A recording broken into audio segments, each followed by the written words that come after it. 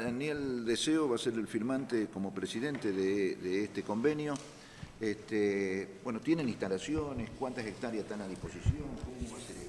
Eh, sí, buen día. No, en principio tenemos un predio, es chiquito en el colegio de una hectárea, pero para ahí la idea también es irlo llevando a campo, digamos, de papá o del consejo de administración, que bueno, que, lo- lo puedan tener en su campo.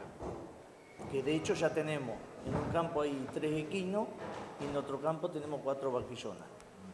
Que de hecho, bueno, hay que respetar bueno, las condiciones que la doctora dijo, ¿no?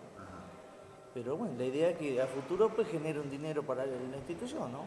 El caso de las vaquillonas pues son futuras madres y bueno, y el caso de los equinos pues se verá el destino que, que De da. cualquier forma, para el mantenimiento de estos animales, ustedes tienen la gente, están los.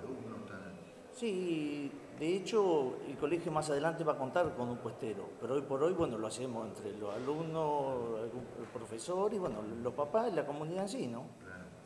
Así. Y en la época de verano que no hay clases, ¿cómo se va a manejar? Y bueno, le buscaremos la vuelta porque esto ahora es reciente, y la firma del convenio va a ser ahora, si bien hace, como dijo la doctora, un par de meses que ya tenemos de, a partir de enero ahí están las vaquillonas, pero bueno, ya le buscaremos la vuelta. Daniel, el, el predio está bien alambrado, Y estamos en eso, lo estamos alambrando. Claro, si Sí. es un depósito también es... No, no, tal cual, no, no, eh, tiene que estar con eh, seguro, ¿no?